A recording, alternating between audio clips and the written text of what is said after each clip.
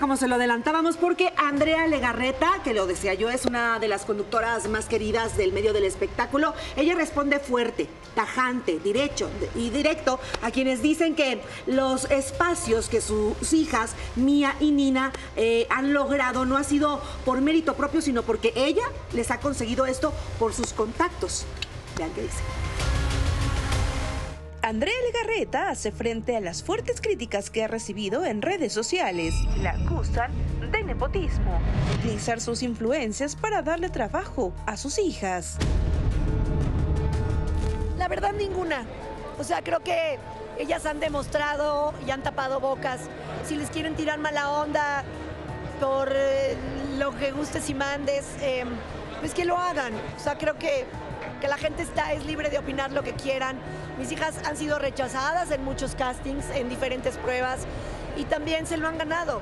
O sea, cuando Mía abre la boca y se pone a cantar, pues perdón, pero la gente se podrá dar cuenta que sea hija de quien sea y se llame como se llame, pues nadie se lo ha regalado, ¿no? Ella se ha preparado, les hemos dado las herramientas y bueno, pues ahí está el resultado. Y en el caso de Nina, lo mismo.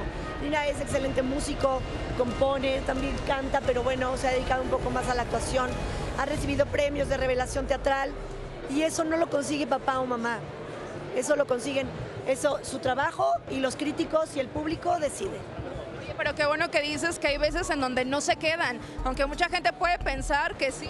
No, hay infinidad, infinidad. Mía, antes, por ejemplo, de ser Anita la huerfanita, hizo varios castings, hizo casting, por ejemplo, para ser Nala, que aparte Morris Gilbert es uno de mis mejores amigos en el teatro, y perfectamente le puede dicho, ay, ayúdame a que se quede. No, ella hizo su casting junto con las demás niñas de, Disney, y el asunto fue que les encantó en el canto, en la actuación, pero sus características físicas y su estatura no, no iban. Y no te puedes quedar por muchas cosas, no necesariamente porque no tengas el talento, es porque hay personajes donde no vas y no pasa nada. De lo malo hay que aprender y sacamos lo bueno.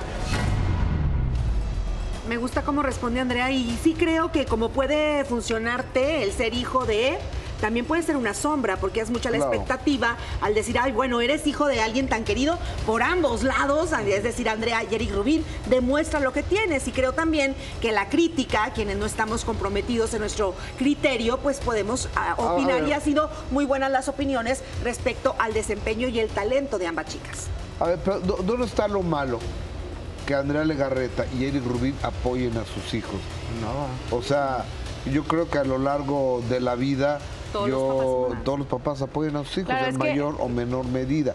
Un empresario eh, empieza a meter a sus hijos a la empresa porque el día de mañana se van a quedar con la empresa.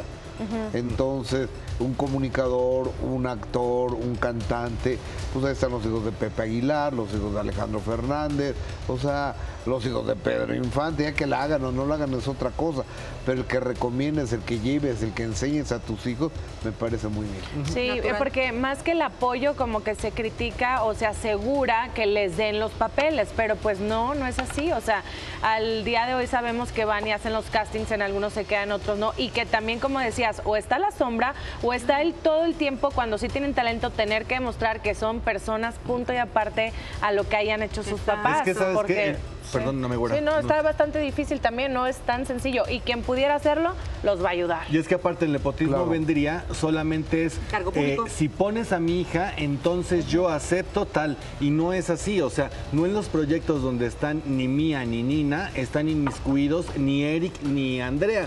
Por lo cual un empresario no va a arriesgar su dinero por decir, ay, le voy a hacer el favor a Andrea. O sea, si es buena, es buena. Y la verdad es que Mía ha sido buena y que no creo que use palancas para el número de reproducciones que tiene en plataformas, que la gente naturalmente la ve o que eh, las marcas la contraten para hacer estos showcase que son eh, los momentos en donde ella canta o esta eh, Mía, eh, Nina haciendo los doblajes, o sea, realmente tienen talento y si lo tienen, pues ni modérrimo, o sea, ya es lo de menos que sean hijas de lo que están, Y- les ayuda el A nombre, ver, pero hasta ahí. nepotismo. Exacto. Nepotismo, Es utilización de un cargo para designar a familiares o amigos en determinados empleos eh, o concederles otros tipos de favores al margen del principio del mérito y capacidad. Y lo que yo creo es que aquí, así fuera un cargo público o en este caso que es el medio del espectáculo, pues los clientes somos justamente usted, nosotros aquí, o sea, nosotros decidimos si son talentosos, si queremos consumir a ese producto, o sea, no hay forma de que se lo pueden imponer inicialmente, en- no digo que en ese caso,